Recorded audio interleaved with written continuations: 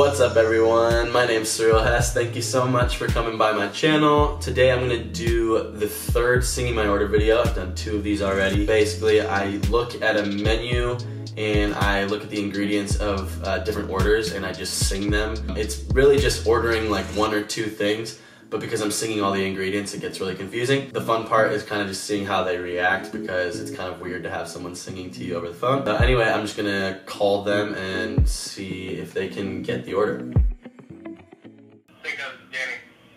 Hi, could I make an order for pickup, please? Absolutely. Can I grab a name for the order? Yeah, the name's Suriel. That's S-U-R-I-E-L.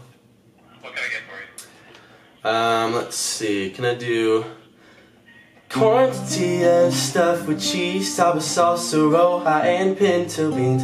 Two eggs with the side of potatoes, also known as huevos rancheros.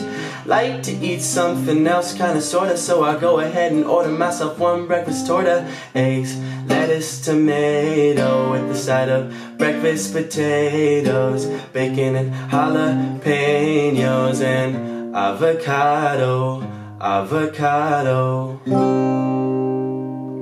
Did you get that? What? Hello? Did you get that? Yeah, no, I did, I did not get that at all. all right, so that was that was basically just uh, huevos rancheros and a breakfast torta. Got it. A any any thoughts on the song? Uh, that was a first, man. That was that was definitely a first. Did that, you pre-record that? No, I actually I just sang it to you over the phone live. Did you really? Yeah, I did. that was uh, that was the first. I I thought I thought you were maybe pulling my leg too. That was that was really good, man. Thanks. Yeah, no, I'm for real ordering uh, huevos rancheros and a breakfast torta, and I just thought I'd make it funny by singing a song. Dude, that was awesome. uh, it'll, it'll be ready in about 10 minutes for you, brother. That was awesome. I look forward to meeting you when you come in. All right, thank you so much. What was your name again? No problem. Danny. All right, thank you, Danny. See you soon. I'll see you soon, man. Yeah, take care. All right, bye. That was so funny. At first, he sounded like super pissed off, but I think he was just confused.